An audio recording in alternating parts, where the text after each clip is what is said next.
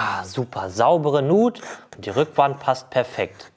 Was ist denn das?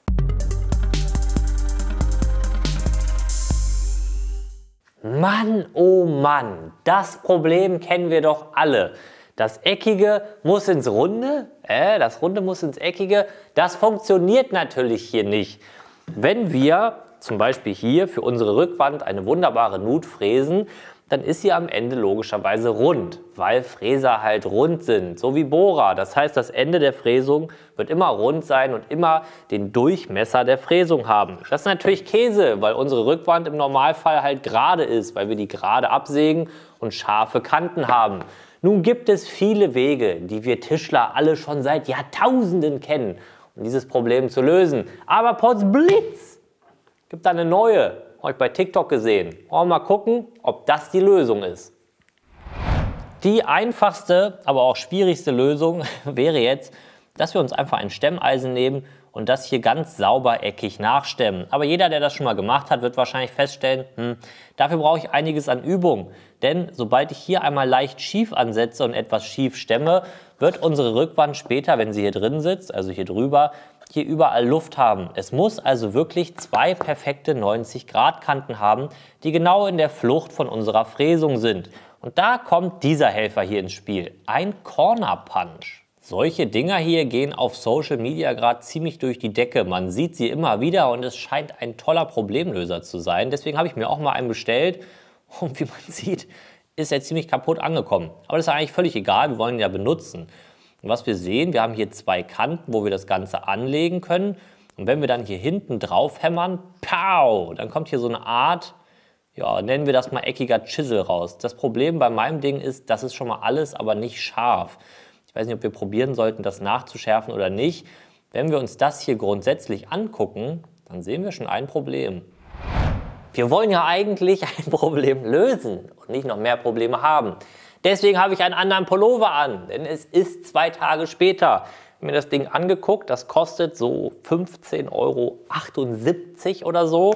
Und für 21 Euro gibt es ein Markenprodukt von Trend, was direkt auf den ersten Blick, zumindest was das Stemmeisen hier drin angeht, deutlich besser aussieht. Und das Ding ist auch scharf.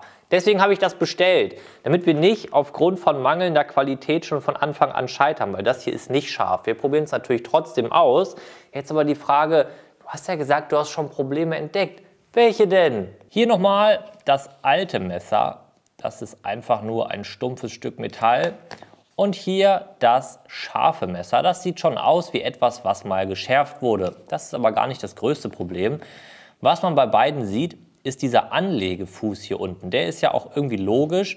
Das sind sozusagen die Kanten, die wir anlegen, damit wir dann wirklich ganz einfach, sieht man ja hier auch, wie das da rauskommt, 90 Grad nachstechen können. Das haben beide von diesen Vorrichtungen. Bei der, nennen wir es mal Markenprodukt, ist der Fußabdruck etwas kleiner als der andere, aber der ist riesig und das bedeutet eins. Das Ganze heißt ja Corner Punch oder Corner Chisel. Und wir haben hier wirklich eine extrem fette Nut, wenn wir jetzt mal von der Rückwand ausgehen. Wir haben hier 18 mm, also das ist schon deutlich mehr, als man normalerweise irgendwie nehmen würde. Das Problem ist, durch diesen großen Fußabdruck passt das in 100 Jahren natürlich da nicht rein. Und auch das etwas kleinere Modell, das passt einfach nicht hier rein. Das heißt, für das Problem, was ich gerade habe, können wir das hier leider überhaupt gar nicht benutzen. Aber es gibt ja nicht nur Nuten im Material, es gibt ja auch ein Falz. Also sozusagen eine Nut an der Kante, die sozusagen nach hinten keine Begrenzung hat. Theoretisch gesehen könnten wir unser Jiggedy ja jetzt hier reinpacken. Uh, da ist ja schon wieder ein Problem. Das gibt's doch nicht. Wofür ist das gedacht? Wenn wir unser Helferlein jetzt hier dran führen wollen, ich erinnere nochmal, die Idee soll ja sein, dass es uns die Arbeit erleichtert. Uff, dann kommen wir nicht sehr weit. Weil die andere Rundungskante verhindert, dass wir überhaupt in die Ecke kommen. Und auch andersrum kommen wir nicht so weit ran, wie wir wollen. Ich kann hier noch einen Teil von der Rundung sehen. Das heißt, wenn wir eine Anwendung haben, wo die Rundung sozusagen nicht nur an einer einzigen Stelle ist, dann funktioniert das Ganze überhaupt nicht, weil wir nicht weit genug reinkommen. Und das ist irgendwie... Oh, hier. Da. Vielleicht geht es mit dem Kleinen. Damit wir es nutzen können, muss jetzt zuerst diese äußere Ecke weg und im besten Fall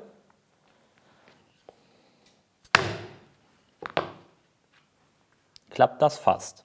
Also scharf ist das Ding auf jeden Fall schon mal. Das ist Nuss und wir konnten das ganz gut wegchiseln. Aber hier unten ist noch ein bisschen was. Das mache ich jetzt mal so weg.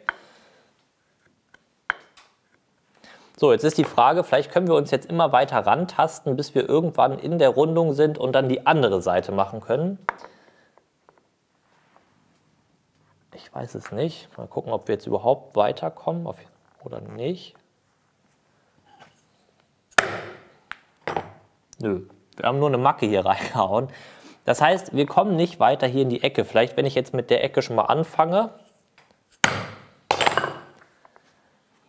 dann haben wir hier auf jeden Fall schon was weg.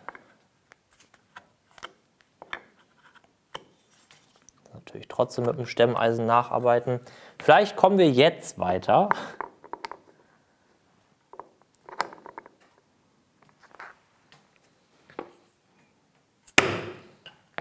Nein. Oder doch? Sind wir weiter? Ja, doch, wir sind ein bisschen weiter gekommen. Und jetzt noch mal einmal hier.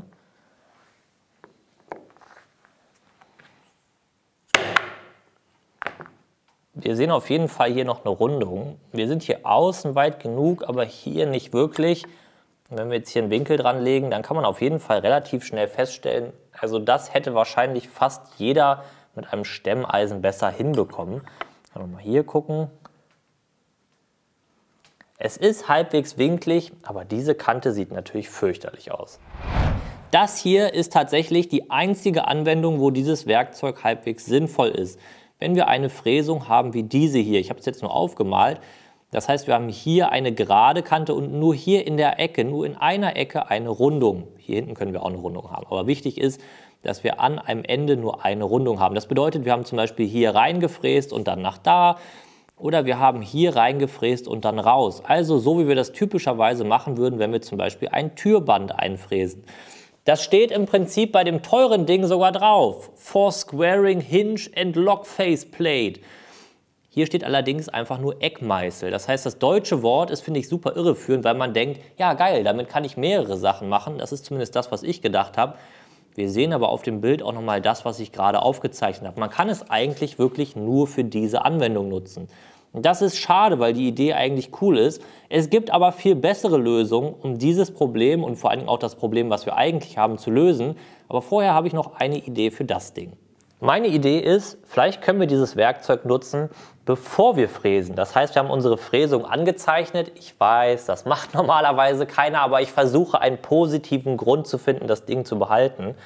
Das heißt, bevor wir fräsen, legen wir das hier sauber an, an unsere Linie, was schon gar nicht so einfach ist, weil man nicht gut gucken kann. Oh Gott, und es wackelt. Und dann smash ich da gleich oben drauf Naja, fast. Und jetzt hätten wir zumindest schon mal eine saubere Kante. Das heißt, wenn wir jetzt fräsen, könnten wir danach stemmen. Aber ich glaube, man hat gerade gesehen, das ist ziemlich wackelig und naja, es gibt bessere Lösungen, die gucken wir uns jetzt an. Ich kann den Instagram-Hype verstehen. Ich war auch super aufgeregt. Und leider ist es halt irgendwie ein Werkzeug, was aus meiner Sicht ein bisschen zu speziell ist. Ja, es kostet nur 20 Euro, aber wenn man das wirklich nur für eine Sache nutzen kann, sind wir mal ehrlich, würde ich sagen, landet das in der Schublade und wenn wir das nächste Mal solche Bänder einlassen, haben wir schon vergessen, dass wir das Ding überhaupt haben. Insofern leider irgendwie aus meiner Sicht nicht ganz so cool. Es gibt aber viel bessere Wege, das hier zu lösen, ohne dass wir ein Werkzeug brauchen, was so wenig kann. Wir können zum Beispiel das Ding hier kaufen, wenn wir denn unbedingt was kaufen wollen. Das ist auch ein Eckmeißel, aber ein sinnvoller, nämlich ein Stemmeisen mit 90 Grad. Im Prinzip ist das genau das gleiche. Ein Meißel oder ein Stemmeisen mit 90 Grad, allerdings im Handbetrieb. Also wir können das Ding selber führen und anlegen, wie wir wollen. Wir brauchen dafür keine Referenzkanten. Und das Schöne ist, solche Stemmeisen gibt es in verschiedenen Größen. Ich habe jetzt hier 10 x 10. Das macht irgendwie Sinn, weil wir da in eine 10 mm Nut sehr gut reinkommen und auch damit perfekte Ecken nachstechen können. Und genau das gucken wir uns jetzt nochmal an. Wir können dieses Stemmeisen natürlich ganz normal benutzen. Das heißt, wir können einfach hier an der Kante stemmen und erstmal das wegmachen, was uns eh schon nervt. Und wir können das ganz wunderbar auch hier in eine solche Ecke reinsetzen, an unsere Linie dran. Und können dafür sorgen, dass das, was wir ausstemmen, genau im 90 Grad Winkel ist. Und wir können es auch so benutzen. Und wir können natürlich rein theoretisch auch an beiden Seiten gleichzeitig stemmen. Das mache ich jetzt gleich nochmal als Vergleich. Wir stemmen jetzt hier einfach mal rein. Aber das ist viel vielseitiger als das. Wir stemmen jetzt hier einfach mal, nur um zu zeigen, dass das geht, so eine Ecke weg. Zack, da ist unser wunderbares Ding. Hier ist die Ecke. Und wir könnten natürlich rein theoretisch damit auch V-förmig stemmen. So, Das, was ich euch gerade gezeigt habe, funktioniert natürlich in unserer großen Nut vom Anfang auch hervorragend. Und damit haben wir sozusagen schon mal definitiv mehr Einsatzzwecke als hier. Ich hasse Stemmen, Jonas. Okay, für alle, die sagen, ich habe gar keine Lust, was wegzustemmen, weil mir das einfach zu nervig ist. Ich möchte diese Rundung nicht nachbearbeiten. Das ist doch super. Auch für euch gibt es eine ganz einfache Lösung. Wir packen das erstmal so da rein und dann, für alle die, die eine andere Lösung brauchen, was wir machen können, ist, dass wir die Tiefe der Nut anzeichnen. Das können wir, wenn wir das so reinschieben können, ganz einfach so machen. Wir machen hier eine Linie und dann nehmen wir die Rückwand wieder raus. Als nächstes müssen wir festlegen, wie weit wir sozusagen was wegsägen müssen, damit unsere Rückwand in diesem Fall jetzt bündig mit der Kante ist. Wir können hier bei mir gucken, meine Nut stoppt 2 cm vor dem Rand und ich weiß, dass ich einen Fräser mit dem Durchmesser von 18 mm genutzt habe. Das heißt, ich kann mir jetzt sozusagen bei 29 mm hier eine Markierung machen, die machen wir gleich hier hoch und dann sägen wir das ab.